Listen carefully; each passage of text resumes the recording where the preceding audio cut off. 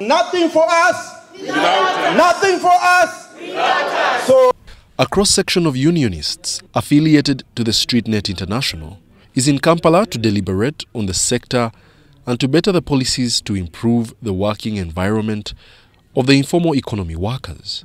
Southern Africa region, viva! Ahoy, my comrades,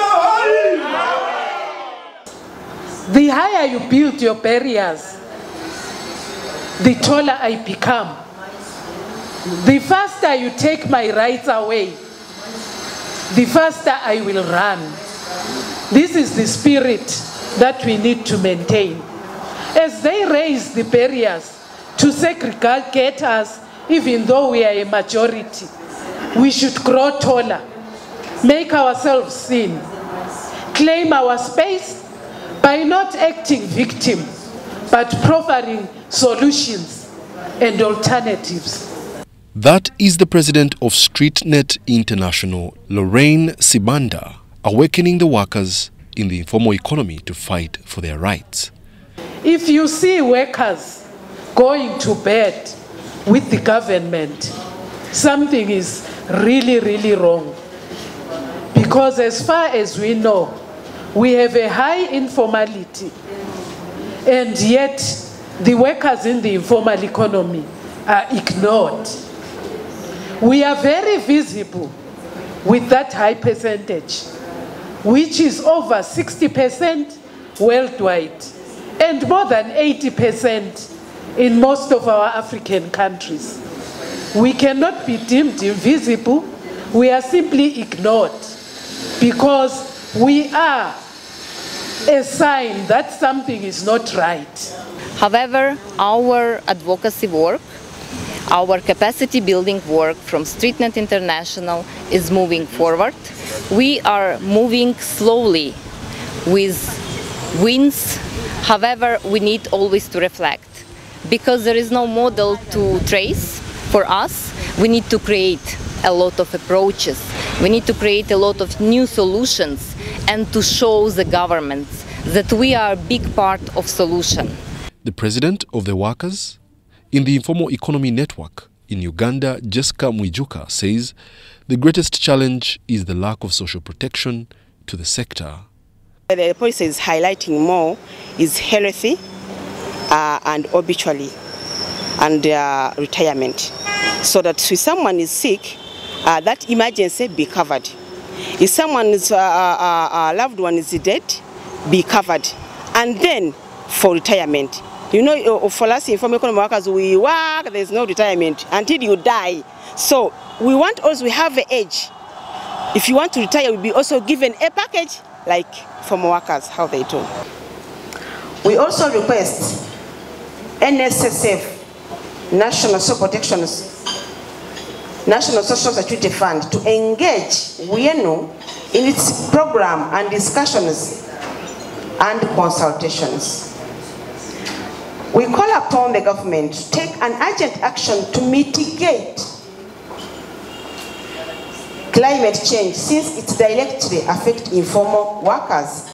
The StreetNet International president, Lorraine Sibanda, who also the president of Zimbabwe Chamber of Informal Economy Association, is concerned about the delay by many nations to ratify to ILO conventions on workers in the informal economy.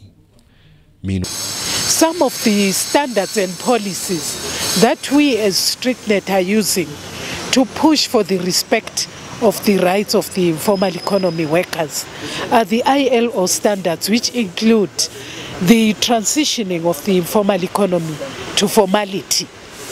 This was crafted in 2015 by the International Labour Conference of 2015, and it sets out the conditions which member states should adhere to. While the coordinator of StreetNet International, Oksana Abud, highlights the mandate of the union.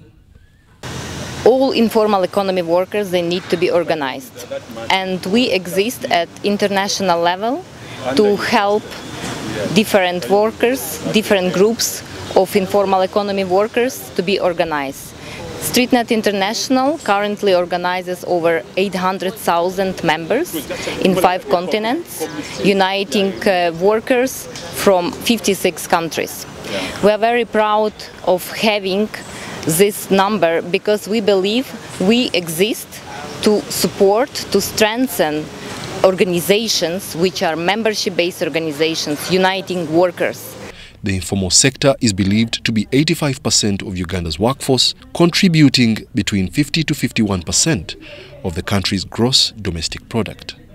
Despite the great contribution to the growth and development of GDP, workers in the informal sector are challenged with lack of recognition by laws and policies, double taxation, and the lack of social protection, among others. The issue of informal economy is a broader perspective. In Kenya, yes, we have regulations, but recognition, appreciation, and value addition to the work that we do. And if you can match it with what we generate in our GDP, is not matching. If you talk about infrastructure, yes, there may be infrastructure, but the way of allocation and interest from non-interest, non, what we would call non-interest parties or beneficiaries is quite a challenge in Kenya, where you find those who are not to be state beneficiaries developing hunger and greed to acquire the spaces that are meant for the informal economy workers. Uh, first of all, the reason why we are here, we were focusing on the biggest challenge, which we feel that if it is solved, it can at least cover multiple of our challenges, which is social protection scheme. So as a network, we already have uh, a policy on social protection scheme, which we are soon going to register and introduce our members. It's going to be a contributory uh, protection scheme. Uh, we demand the government to fully recognize us as other workers because we are contributing a lot to the economy of Uganda and the GDP. And when we also look at uh, SDGs that we are targeting, uh, number one and number two, which is end, um, end hunger and poverty, we are contributing to it by because we are the ones who are producing food security in, in the country. So a government must recognize us first of all, and then cover us in the social protection scheme. We want also to be in the budget and then make sure that we are also covered as workers in formal economy. Unfortunately, these workers lack recognition, legal recognition, accordingly social protection recognition. They are not covered by any labor code in, this, in their countries. They are not recognized by the national as well as local government. Despite the fact they contribute enormously to the national and local economies of their countries. Our main problems that um, we are facing are conceptualized in two, three aspects, in two, three categories. We work into the what we call the three Ds. That is the dirty, demeaning, and dangerous environment.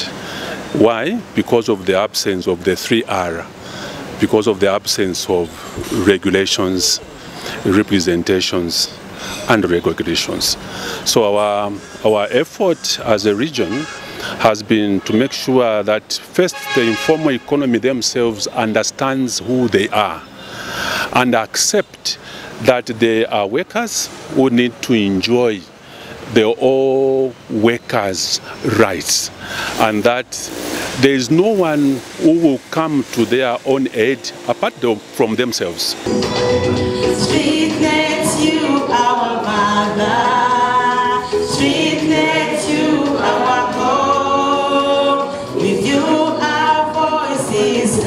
In